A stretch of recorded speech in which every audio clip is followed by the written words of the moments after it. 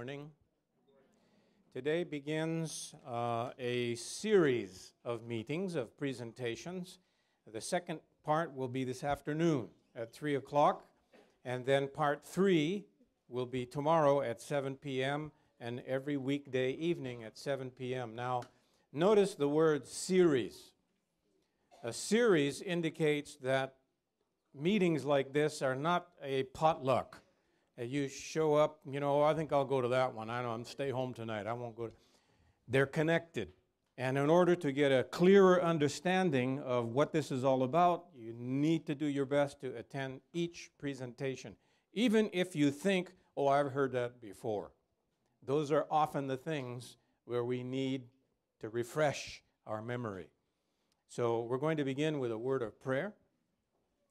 Lord, as we start this series during this worship hour, we are going to be looking at your word.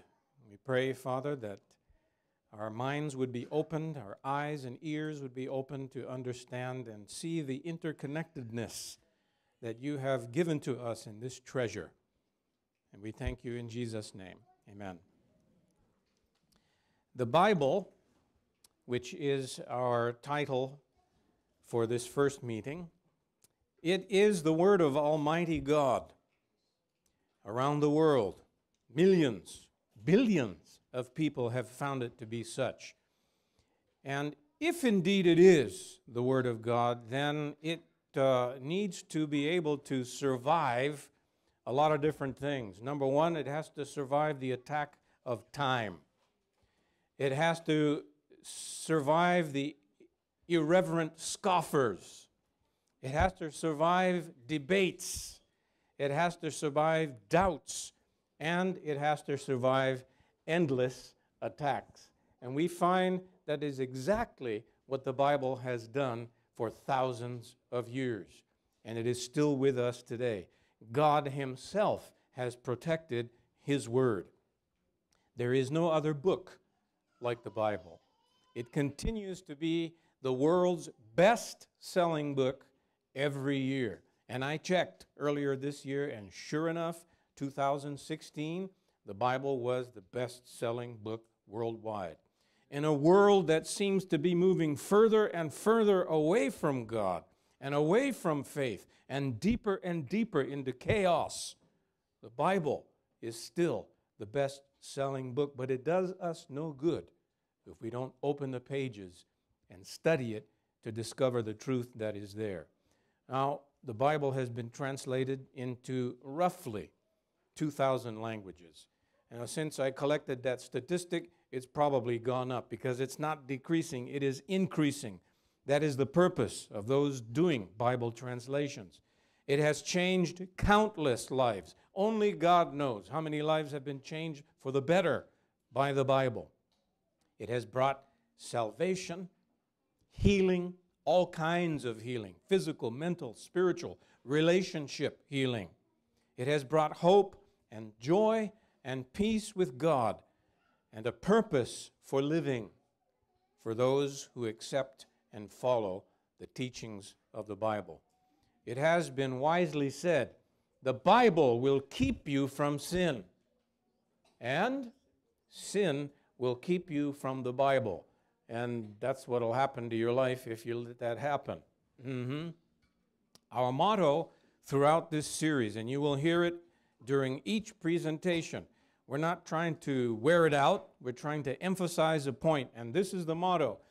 You can read it with me out loud. Ready? If it's in the Bible, I believe it. If it disagrees with the Bible, it's not for me. Now, there may be someone here today that says, oh, I just came here, I was invited. I'm not sure about that. I'm not sure the Bible is what you say it is yet. That's okay. Keep coming, keep studying.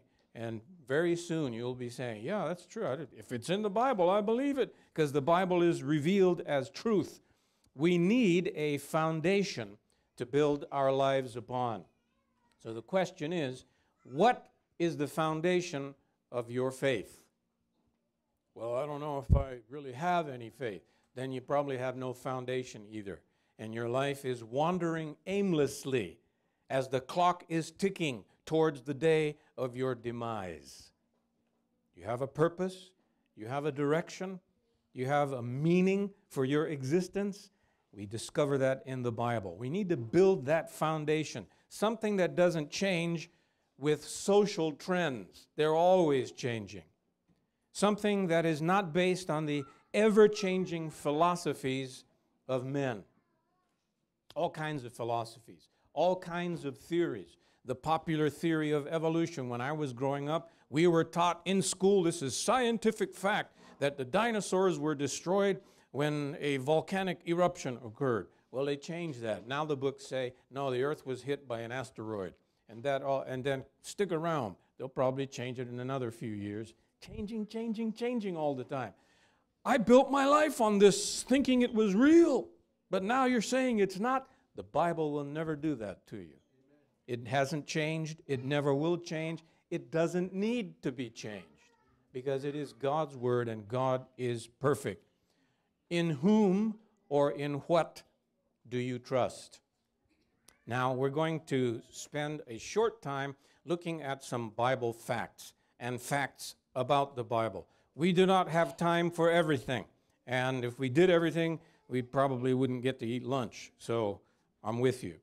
Though the Bible is one book, one book, it's actually a library of truth.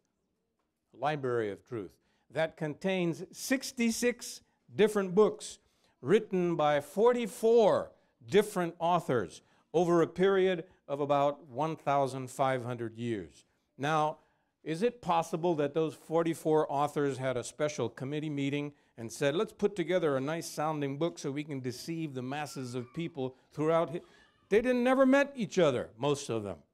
That's too long a time to be able to do that. And yet, all 66 books of the Bible are linked like a chain.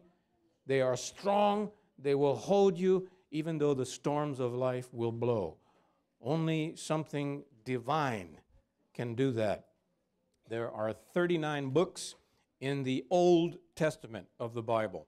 That, in fact, is most of the Bible, like three fourths of the Bible and their uh, sacred history of the world from creation up till 400 years before the time of Christ. Then there's the New Testament, 27 books, and that is from a record of from the birth of Christ and forward to the beginnings of the Christian movement and uh, so forth. The Bible continues uh, that record. It is God's plan, the plan of salvation for mankind. It contains Bible prophecy that has foretold very significant events in the history of the world, including our time. Our time? Yes, our time. Uh, we're not going to look at it, but 2 Timothy 3 1 through 5, you can read about that. We will be learning more about these things with each presentation. This is an introduction. Each presentation, each message in this seminar series. So please do not miss any of them. It's just a week, just a week. If you can put priority one to be here, you will be blessed. Not more facts about the Bible. Thousands of years before humans figured out how to fly, how to make rockets, and how to send men into space to orbit the Earth and photograph the planet. Thousands of years before that, God's Word said this He hangs the earth upon nothing. Do you see a hanger? It's an actual photograph, right? There's nothing there. We're in this dark vacuum, spinning around and revolving around the sun year after year, day after day. Who is guiding the track of planet? Well, I was told in the, uh, class that it's uh, gravity. Well, congratulations. That is a physical law which God created, God's hand. But how did the Bible know in the Old Testament that the earth is hung upon nothing? No one had ever, you grew up seeing these pictures, many of you, right? You remember when some of these, I do, when the first pictures of Earth from outer space were sent by the, wow, look at that. And here we are, this blue and green and brown and white ball spinning around in space and life is only here that we know of. There's life in heaven also, but none of us have been there. Another thing the Bible said, thousands of years ahead of scientific discovery, is that the earth is round. Mm-hmm. We know that now. People didn't always know that, is what the Bible said. It is He, God, that sits upon the circle of the earth. Mm-hmm. How in the world would someone know that, to be inspired to write that, unless it came from God who knows and sees and has created all things? We jump ahead a little bit from medical science. Did you know that uh, up until the beginning part of the last century, maybe even in a few backward countries today, the practice of bleeding people, you heard me right, bleeding people, cutting and releasing blood from the human body, was practiced for up till about 120 years ago. It was believed that, among other things, if you had a fever, whoa, your temperature is hot, you're burning up, there's something wrong, you have too much blood. That's what was believed. Medical science of the day. Doctors not only taught that, but believed that and practiced that. And guess what? When they would cut and release some of the blood, the temperature would go down for a little while until the body had a chance to rebound and say, Whew, what was that? I got lightheaded on that. And mm, the temperature came back. Very interesting. Yet, in the book of Leviticus, we find these words life, the life of the flesh, is in the blood. How did the book of Leviticus, written more than 3,000 plus years ago, know that? unless and we read that and say, oh yeah, that's uh, atarimae in Japanese. Yeah, anybody knows that. This is thousands of years before science figured that out. You all know him, right? I mean, you've seen his picture. First president of the United States, George Washington. If you have some American money in your pocket, some of it has his picture on it. George Washington one day went out to check his property. It was a very cold day, rainy. He got wet and he caught a bad fever. And it seemed he was getting worse. So they called in the best doctors they could find. I mean, this is a former president. Best doctors they could find. And they said, Yep, he has too much blood. So they bled him. And the temperature came down, right? Ooh, fever looking pretty good. An hour or two later, right back up again. Hmm, still too much blood. So they bled him again. Temperature went down. A couple hours later, mm, came still too much blood. You know, George Washington died from being bled to death. If they had known the fact, the truth of what the Bible teaches, they would have known don't get rid of blood. He needs it right now. And maybe he could have lived a little longer. That's a very sad story, but it's true. Next one. The Bible contains many prophecies, accurate prophecies. The prophecies of the Bible have uh, always been 100% accurate. There are scores of prophecies, for example, in the Bible regarding the coming of the Savior, Jesus Christ. How do we know Jesus Christ was the Savior? There are some people who don't they don't believe that. They don't they're still looking for a Messiah. And there are others who think that's hogwash, the whole thing. How do we know that? Because the things that happened in his life, beginning with his birth, his ministry, his betrayal, the exact amount of money that he would be betrayed for, and by one who was in the inner circle of friends of the disciples. It's all written there, prophesied hundreds and hundreds of years before Christ came to this world to become one of us. No human ability could do such a thing. Only God, in His infinite wisdom and knowledge, could reveal the future and then guide human events, guide human events to meet that. The Bible is God's Word. Therefore, the Bible can be trusted. Do you trust it this morning? Oh, I just got here. I don't know yet. Well, stay with us.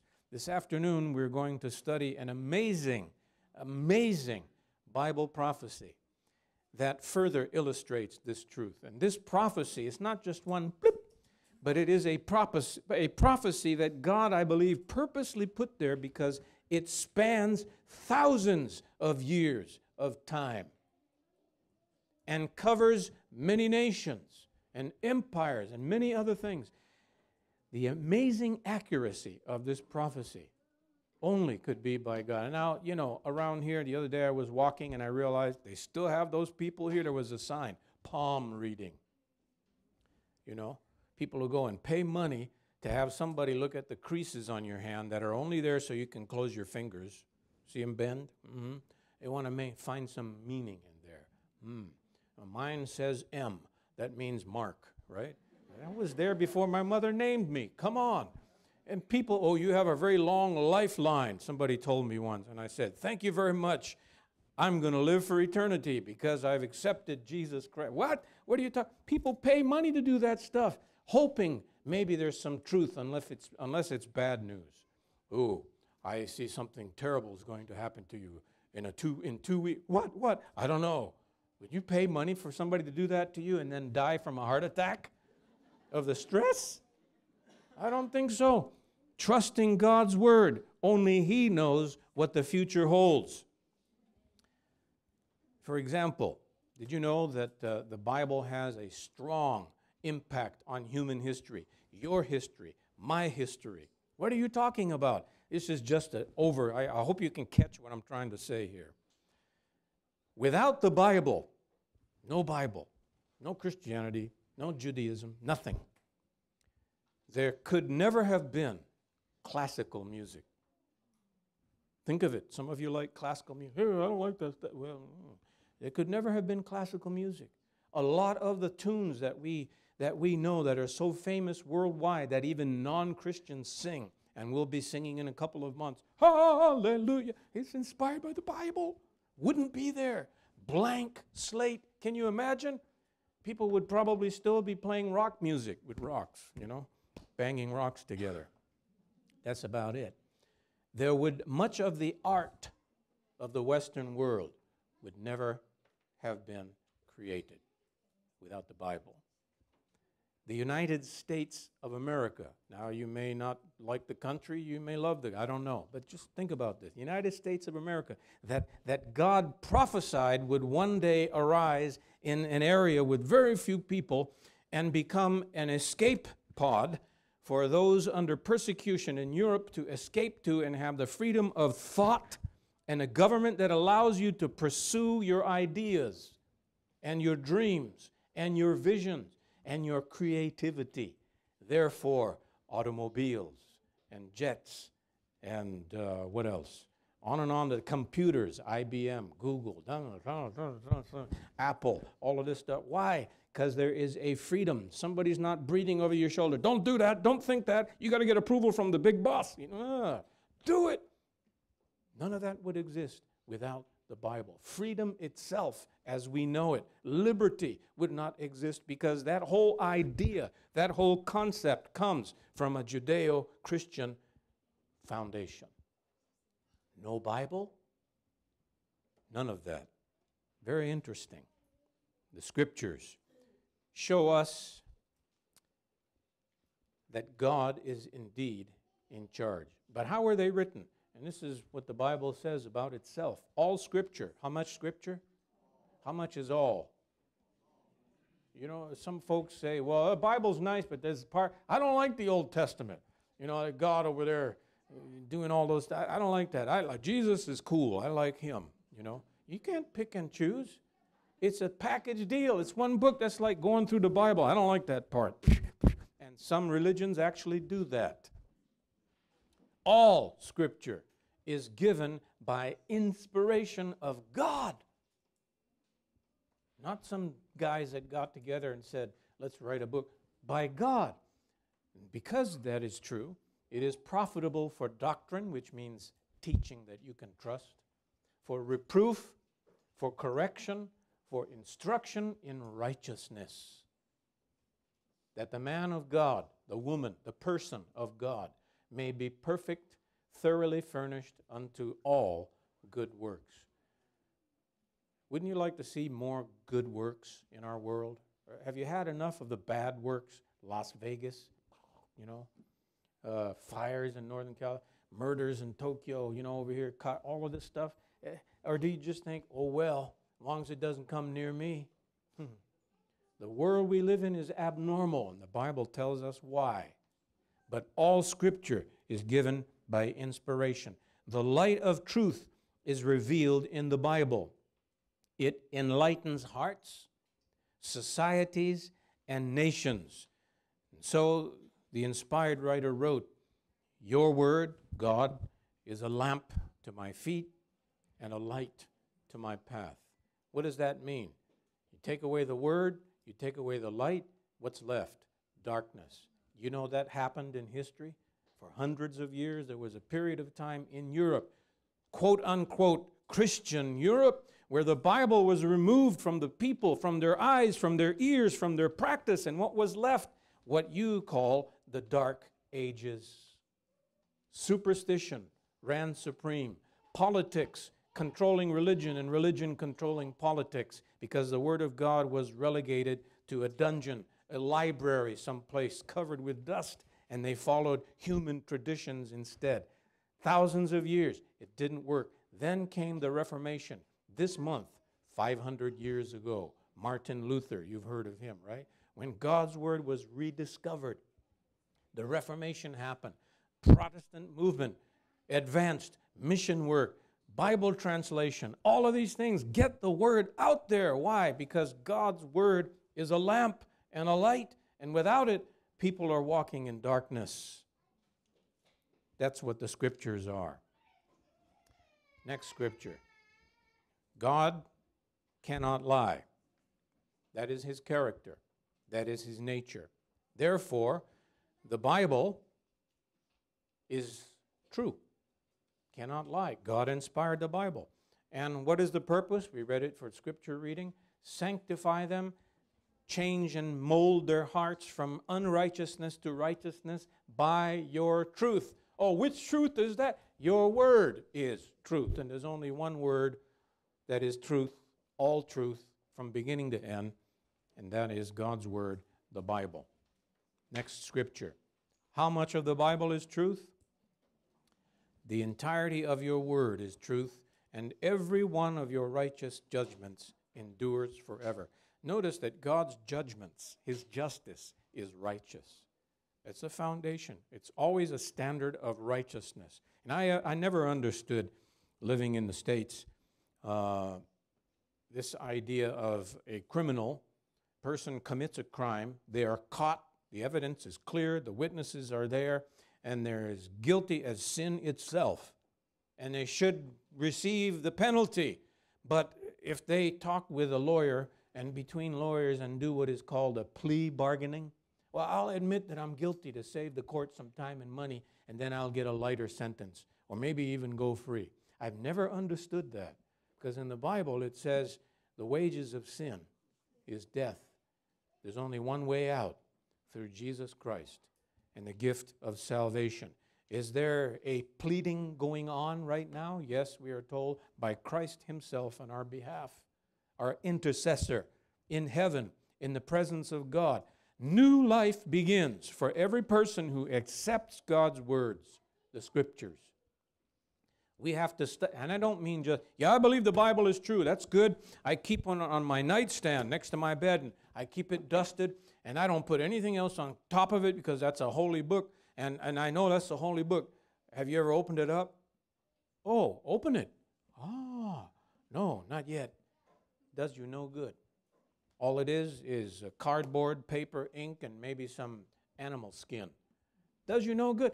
You've got to go in, open it up, and let it shine forth, penetrate through the eyeballs and, and the nerves into the mind, into the heart, to the frontal lobes, where our ability to contemplate right and wrong and righteousness and eternity is then shocked into an alert awareness of our great need of what God offers to us. New life begins for those who study the Bible. The scriptures are spiritual nourishment, right? Maybe you ate breakfast this morning Maybe you didn't, but maybe you're going to eat lunch or dinner. You have to eat food. You need nourishment so all the nutrients can nourish your body and you can see and hear and walk and think, right? It's the same spiritually and morally. And it says, Your words were found and I ate them. What does that mean? I put them in, I internalized, I put them into practice. When you eat food, do you swallow it whole? Oh, look, an apple. Choke to death, right? What do you have to do? You have to smash it down. You have to break it down into smaller portions, mingle it with saliva. Sorry, I don't mean to be gross, but that's what happens when we eat. Mingle it with saliva and then swallow it down so it can be digested and absorbed. The difference with God's word is we don't swallow it down, we swallow it up, right up into here. So it can become a part of us. Without the scriptures, we have no truth. Maybe a semblance of truth, a few grains here and there, but there's no connection. It doesn't make any sense. No hope, no faith, no direction, no purpose in life, no identity. Who are you? Who am I? I don't know who I am. I'm trying to discover myself. Have you heard those phrases, you know, in the, I, I really know. Who are you? I've been living with you for 30 years. I don't know you. It is, why not? You have no context for knowing. The foundation, the, the, the center pole from which everything then begins to make sense. That is the Word of God. The only rule of faith and practice for the Christian is God's Word, though all Christians do not make it their only rule and practice. The Protestant reformers always said, Scripture alone, the Bible alone. Why? They lived in a time when so many people followed tradition and a little bit of Bible just to season it. What happened? The Dark Ages. And when they saw the light of God's Word, they said, We're coming out of that. We don't want to go back. We don't want to stay there. And they moved forward one step at a time, one restored doctrine, one restored truth at the time. The Bible must be our study and our guide in life. You can have it and not study it, does you no good. You can have it and study it and not practice it. It's still not doing you any good. You can have it and study it and practice it and live by it. That is when life begins, when direction is changed. And we don't mean from time to time when the weather is clear.